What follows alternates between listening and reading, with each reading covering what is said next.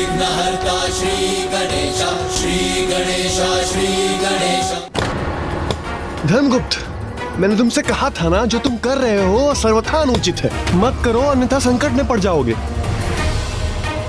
क्या हुआ भानु?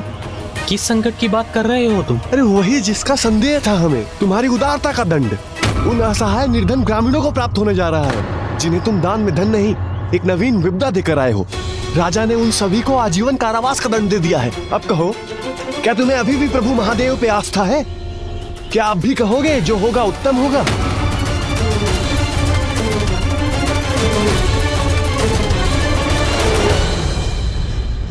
हमें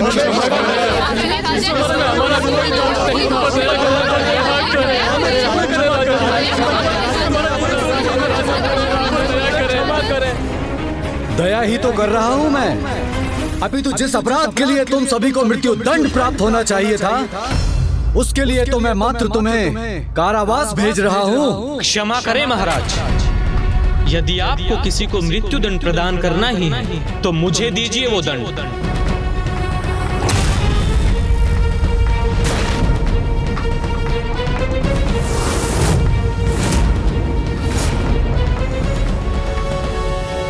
क्योंकि, महाराज इन सभी को उस धन से सहायता प्रदान करने वाला मैं ही था। सैनिकों!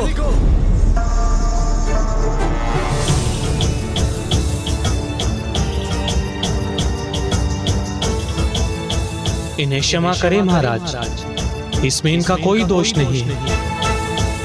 इन्हें तो ये भी नहीं ज्ञात कि जो धन इन्हें मुझसे प्राप्त हुआ है वो कहाँ से आया था? किंतु तुम्हें तो ज्ञात था कि दस्युओं ने वो धन अनुचित प्रकार से प्राप्त किया था।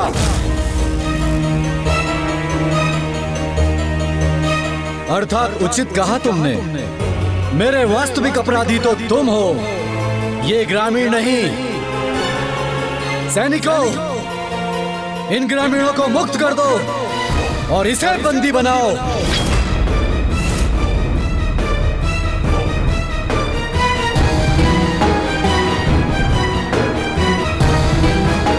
इसे क्षमा कर दीजिए महाराज। महाराज इसने हमारी सहायता की थी। हमारा भला किया था। क्षमा कर दीजिए महाराज। इसे क्षमा कर दीजिए। महाराज इसका कोई दोष नहीं है। महाराज क्षमा महाराज। दस्युओं के कर्म से मेरा कोई संबंध नहीं है महाराज। मुझे वो धन वन में गड़ा हुआ मिला था। अच्छी कृत्रिम कथा की रचना की है तुमने। किंतु अब इस अपराध के परिणाम को प्राप्त करने से तुम्हें मुक्ति प्राप्त नहीं हो सकती। शीघ्र बताओ मुझे किस दस्यु मुखिया के अधीन हो तुम? अन्यथा तुम्हें मृत्युदंड अवश्य प्राप्त होगा। हे महान विदर्भ नरेश हे महाराज आपके मेरे और हम सभी के एक ही तो भाग्य विधाता है। और वो है स्वयं प्रभु महादेव। मैं तो उन्हीं के अधीन हूँ। वही मेरे एकमात्र मुखिया हैं। मेरे साथ शब्दों की क्रीड़ा मत करो। शीघ्र बताओ तुम्हारे दस्यु मुखिया कौन है? अन्यथा मृत्यु दंड प्राप्त करने के लिए तैयार हो जाओ। जो सत्य था मैंने कह दिया महाराज। अब मेरे कथन पर विश्वास करना न करना। आप पर निर्भर करता तो ये भी मत भूलो। कि तुम्हारा जीवन शेष रहेगा अथवा नहीं ये भी मेरा ही निर्णय है। नहीं महाराज। मुझे क्षमा करें। किंतु मेरे जीवन और मृत्यु के निर्धारक आप नहीं। नहीं। क्या कहा तुमने? मुझे मृत्यु दंड देने मात्र से मेरी मृत्यु सुनिश्चित नहीं कर सकते आप महाराज। क्योंकि मेरी मृत्यु तो तभी होगी जब मेरे प्रभु की इच्छा हो इतना दुस्साहस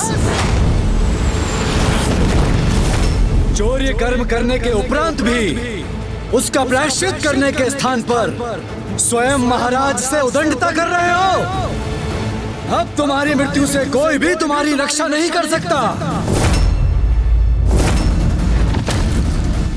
कल प्रातः सूर्योदय के साथ इस दस्यु के नगर के मध्य में मृत्यु दंड प्रदान किया जाए।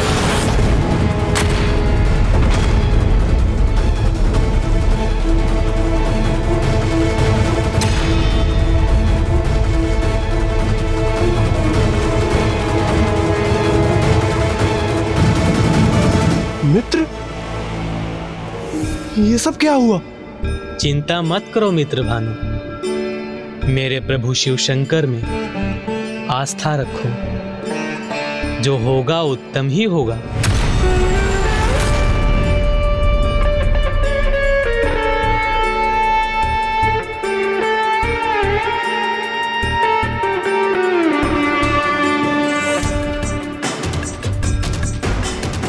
विचित्र है प्रभु में इसकी आस्था।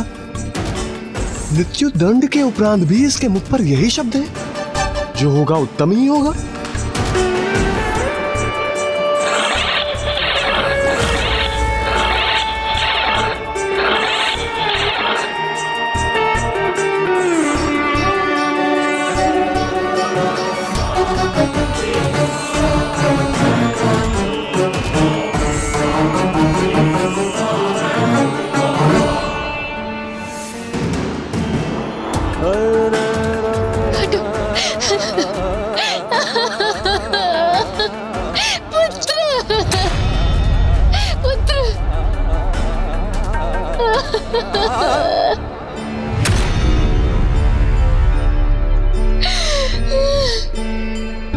नहीं माता, आप विलाप क्यों करती हैं? आप ही ने तो मुझे सिखाया है कि प्रभु महादेव में हमें अटूट आस्था रखनी चाहिए। फिर जो होगा, वो उत्तम ही होगा। विचित्र। इसकी मृत्यु इसके समक्ष है। किंतु ये फिर भी सब कुछ उत्तम होने की बात कर रहा है। नहीं। अर्थात ये इसका प्रभु में विश्वास नहीं। अपितु ये अपने अंत समय में मेरा अपमान करने की चेष्टा कर रहा है।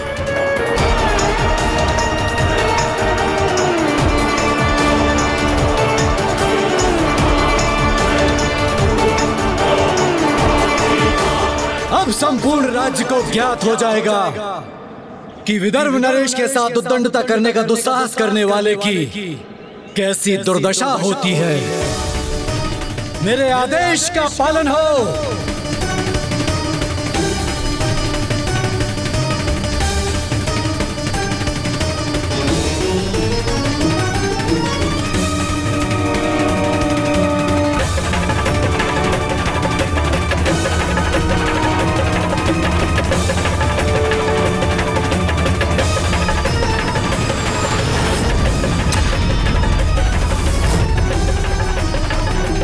पूर्ण आस्था है मुझे अपने भगवान में। जो होगा उत्तम ही होगा।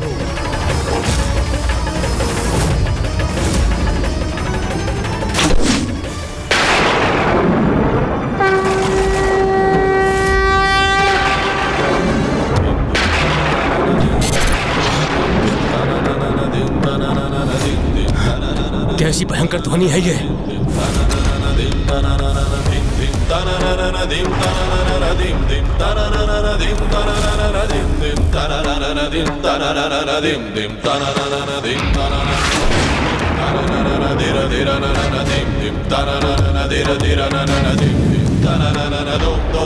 ये बाण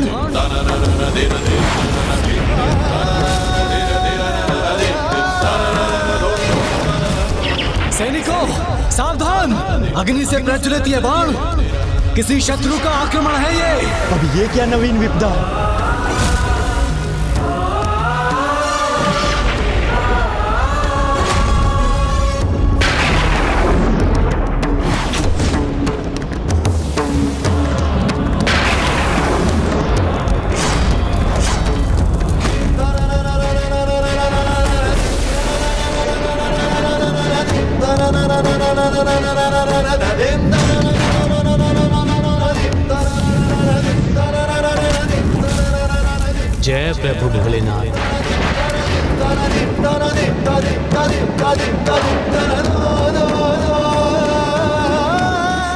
आश्चर्य। ये क्या हो रहा है? किसका दुस्साहस है ये।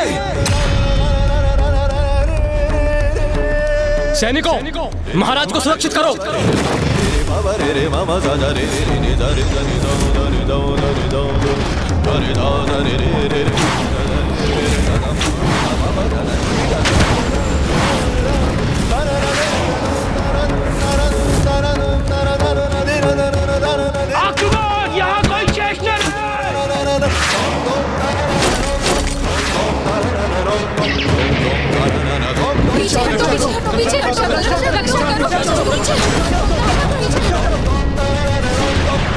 महाराज संकट में है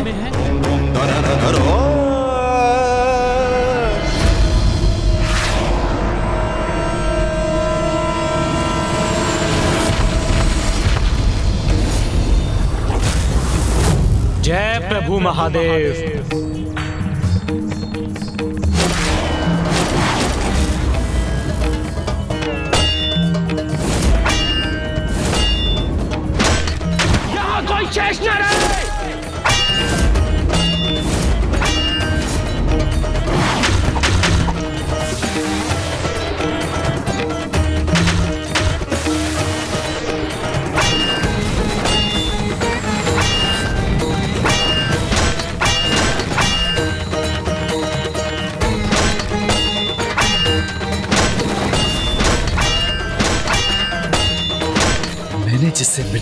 मृत्यु दिया? वो अपने अद्भुत पराक्रम से मेरी रक्षा कर रहा है।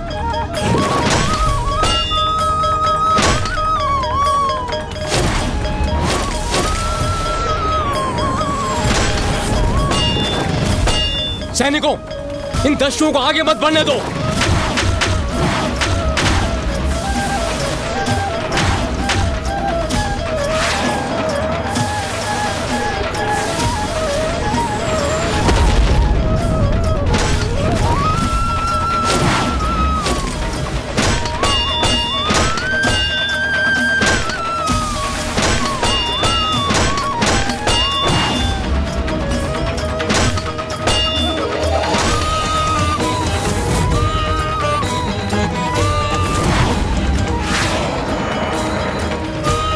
दस्यु तो सैनिकों को आहत कर रहे हैं। इन्हें मुझे ही रोकना होगा।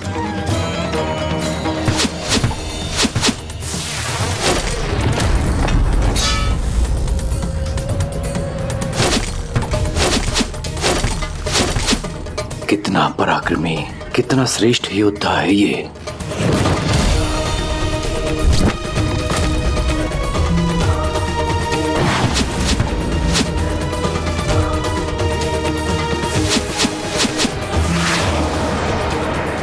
शिव शंकर भोलेनाथ।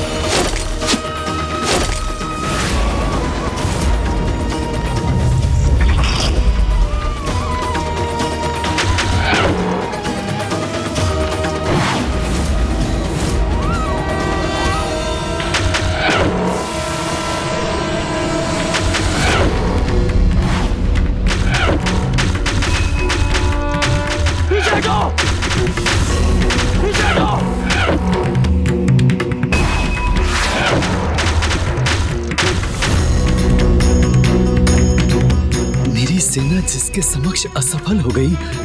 उन्हें इस योद्धा ने अकेले ही रोक दिया।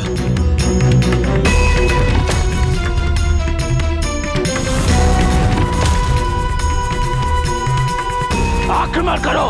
नष्ट कर दो इन बाड़ों को जो हमारा मार्ग बाधित कर रहे हैं।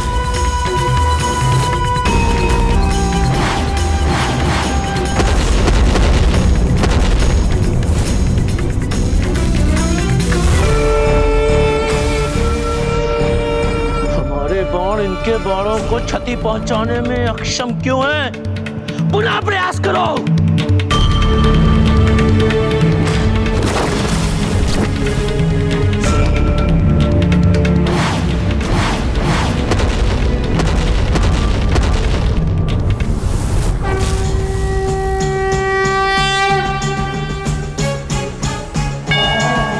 प्रभु के भक्त की शक्ति उनके गणों की शक्ति से अधिक प्रभावी है।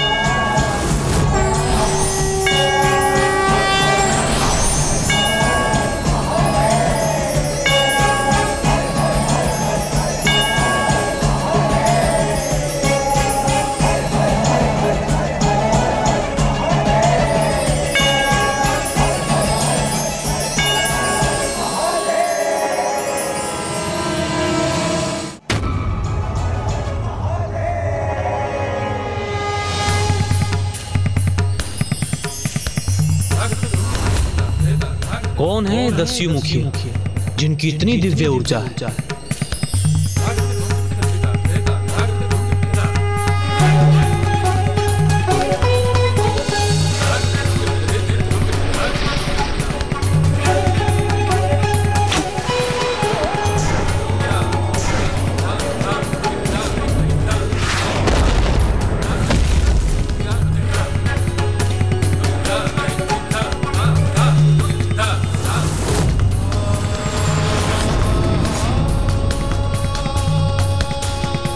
मुझे जो आभास हो रहा है, उसके अनुसार यदि आप वास्तव में कोई दिव्य पुरुष हैं तो इस बाण को मेरा प्रणाम समझिए।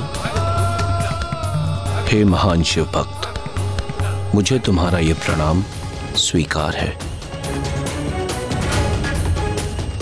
चलो, वापस चलो।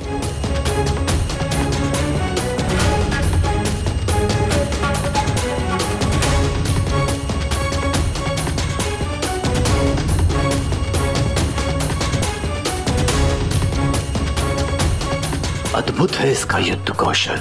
महान शिवभक्त धर्मगुप्त की महान शिवभक्त धर्मगुप्त की महान शिवभक्त धर्मगुप्त की महान शिवभक्त धर्मगुप्त की महान शिवभक्त धर्मगुप्त की।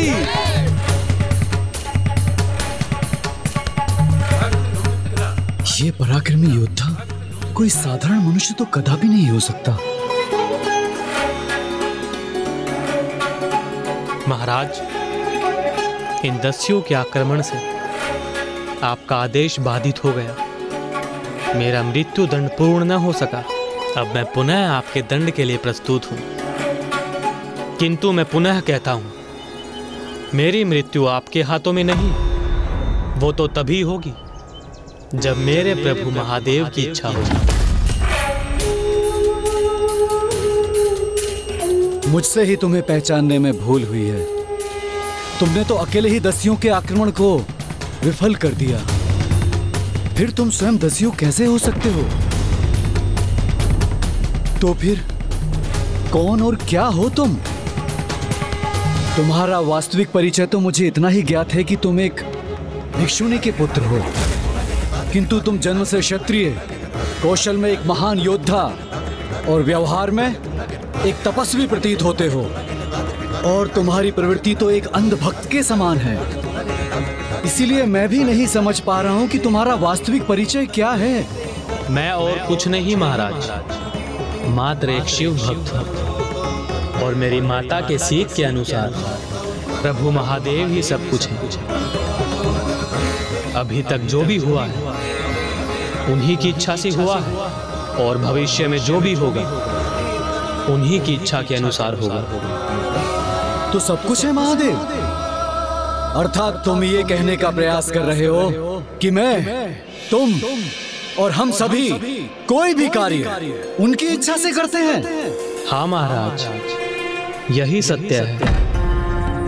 नमामि शमेशा निर्वाण रूपम विभुम व्यापकम ब्रह्मवेद स्वरूपम निजम निर्गुण निर्विकल्पम निरीहम चिदम कश्मकश वसम भजे हम अर्थात महाराज प्रभु शिव शंकर सर्वशक्तिशाली है सर्वव्यापी ऐसा कोई स्थान नहीं जहाँ वो ना हो।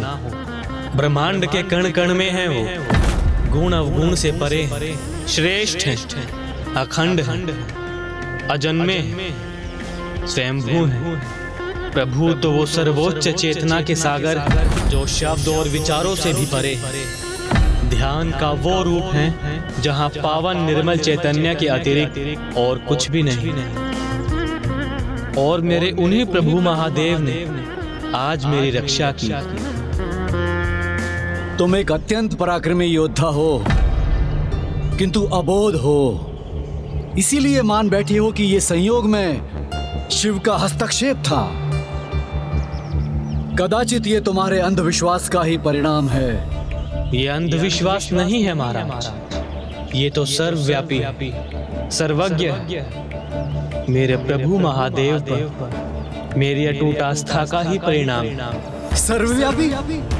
अर्थात तुम ये कहने का प्रयास कर रहे हो कि वो सर्वत्र विद्यमान है। तब तो कहो उनसे, यहाँ प्रकट हो और तुम्हारे विश्वास को प्रमाणित करें।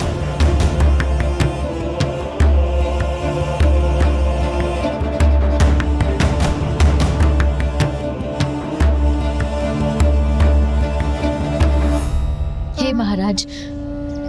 आप एक भक्त की अटूट आस्था को चुनौती देने की भूल क्यों कर रहे हैं? यदि वास्तव में ये इसकी अटूट आस्था है और ये इसका अंधविश्वास नहीं तो सर्वव्यापी भगवान को स्वयं यहाँ प्रकट होना चाहिए। तभी तो ये प्रमाणित होगा कि यहाँ जो कुछ भी घटित हुआ है, उसके कारण वही है।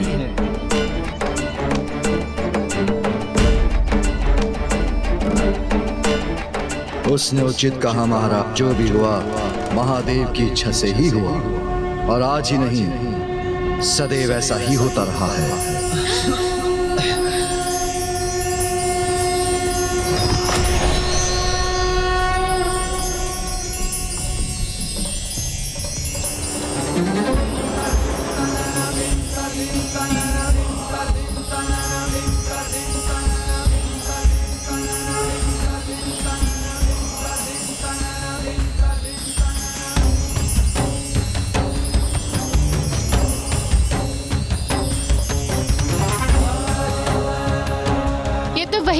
भिक्षुक है पुत्र, जिनके कहने पर वन में मैंने तुम्हें पुत्र रूप में स्वीकार किया था।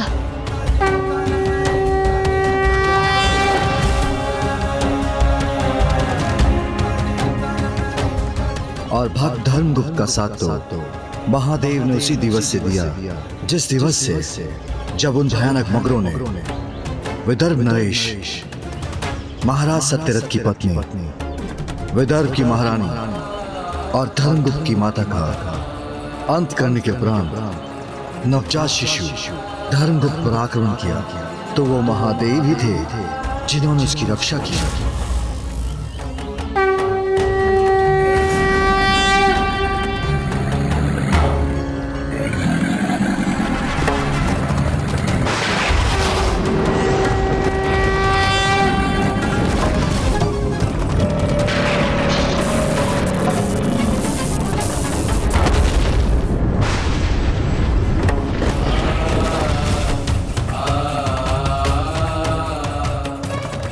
शिव ही थे जिनके हस्तक्षेप के कारण भक्त धर्मगुप्त की माता को उसके निकट जाने की प्रेरणा प्राप्त हुई।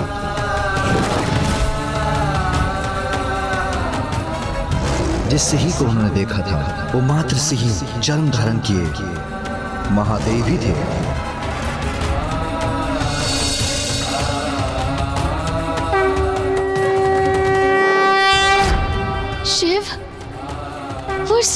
प्रभु शिव ही थे। जिस सर्प ने इन्हें अपना मार्ग परिवर्तित करने पर विवश किया था, वो महादेव के कंठ में विराजमान नागराज वासुकी थे।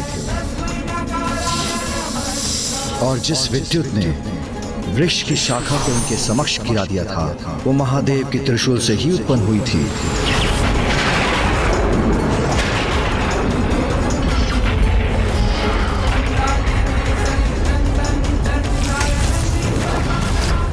आपकी दरिद्रता के उन दुर्दिनों में भी जब आपके पास भोजन हेतु कुछ भी नहीं था, तब जो हाथ आपकी कुटिया में प्रसाद छोड़ जाते थे, वो हाथ शिव शंकर महादेव के ही थे। जब धर्म दुख के अस्वस्थ होने पर वैद्य अचानक स्वयं प्रकट हो गए थे, वो भी शिव ही थे। जिस अनियंत्रित बैल के कारण धर्मगुप्त और आप उस गुरुकुल में शरण प्राप्त करने पर विवश हुई थी, वो भी शिव शंकर ही थे।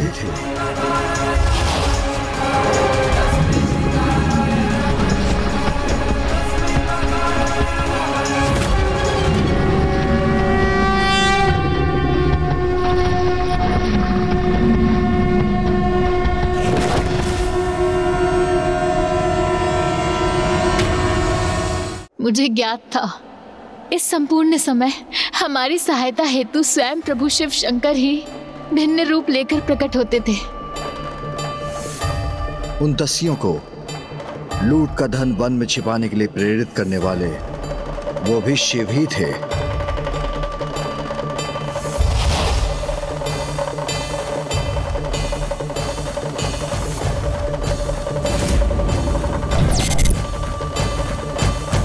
दसमुखिया ये लूटा हुआ धन हमें इसी वन में छिपा कर रखना चाहिए, क्योंकि राजा के सैनिक चारों ओर फैले हुए हैं। धन यहाँ रहेगा तो सुरक्षित होगा।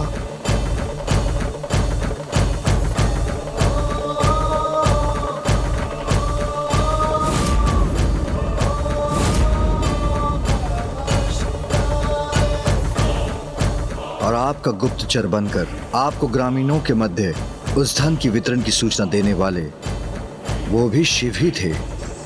महाराज, दसियों समूह द्वारा लूट का एकत्रित धन आपकी ही प्रजा में ग्राम के वासियों ने प्राप्त कर लिया है। और अभी जिनके आगमन से धर्मगुप्त का मृत्यु दंड टला वह आक्रमणकारी, दस्यु कोई अन्य नहीं। महादेव के भेजे हुए गण ही थे। नहीं माता आप फिलाप क्यों करती हैं?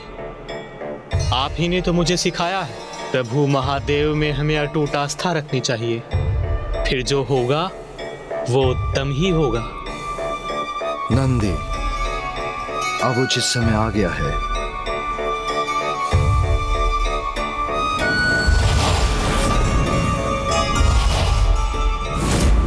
अभी जो यहाँ प्रकट होकर हमसे ये संवाद कर रहे हैं, जो ये प्रमाणित करने आए हैं कि मेरी भक्ति मेरा अंधविश्वास नहीं, मेरे प्रभु के प्रति मेरी अटूट आस्था है, वो भी अन्य कोई नहीं स्वयं मेरे प्रभु शिव शंकर महादेव हैं।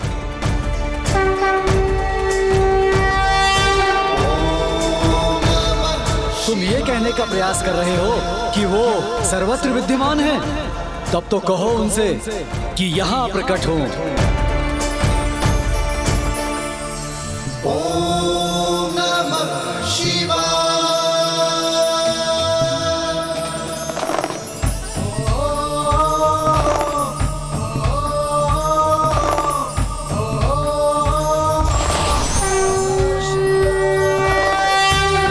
हे भिक्षुवर महादेव आपने हमें दर्शन देकर हमें धन्य कर दिया प्रभु।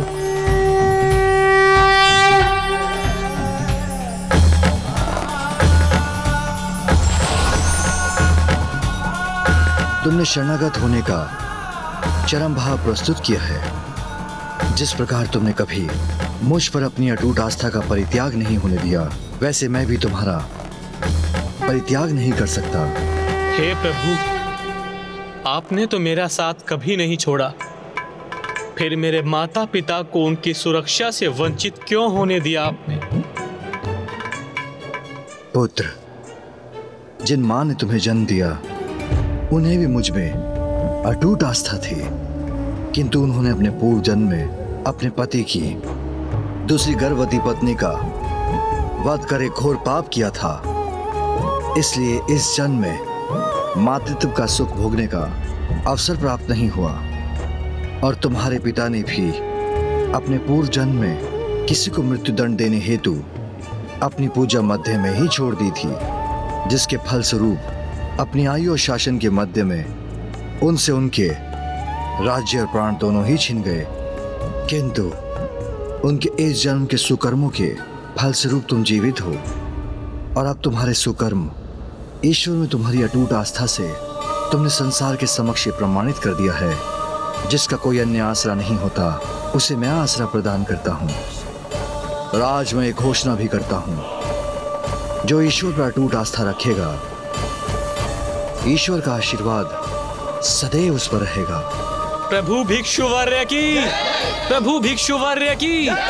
प्रभु भिक्षुवर्य की! प्रभु भिक्षुवर्य की!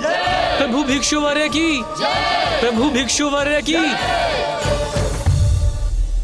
इसके उपरांत राजा भक्त धर्मगुप्त से इतने प्रभावित हुए कि उनके महान प्रशंसक बन गए। उनका अपना कोई पुत्र न था तो उन्होंने अपनी पुत्री का विवाह धर्मगुप्त से करवाकर उन्हें अपना राज्य सौंप दिया। और इस प्रकार प्रभु की इच्छा और कृपा से धर्मगुप्त को वो प्राप्त हुआ, जो उनका अधिकार था।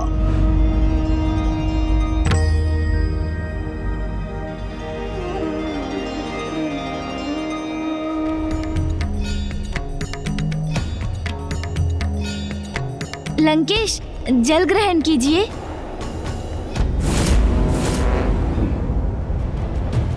इस वन को पार करते ही हम गोकर्ण पहुँच जाएँगे। यदि वहाँ पहुँचने तक मेरी युक्ति सफल नहीं हुई तो वहाँ से लंका अधिक दूर नहीं।